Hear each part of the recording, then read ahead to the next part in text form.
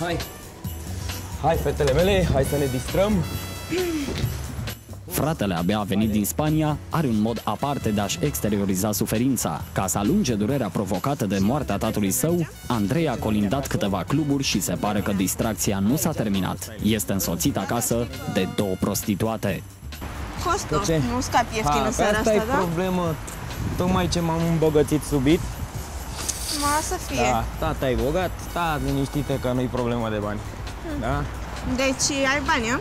Da, tocmai ce a murit tata de dracu și m-am îmbogățit subit, că avea bani. Ah. Așa că mergem și ne distrăm, nu vă gândiți la bani, da? Da, Voi zici atât tu? vă dau. Ok, Hai, condune. haideți, imediat ajungem. Că stau aici, în centrul buricului. Miez Dar noi aici. mergem mult, că deja... Nu pisi aici, miezul miezului suntem noi. Ia uite, ce frumos, îți place? Da, E, Haideți.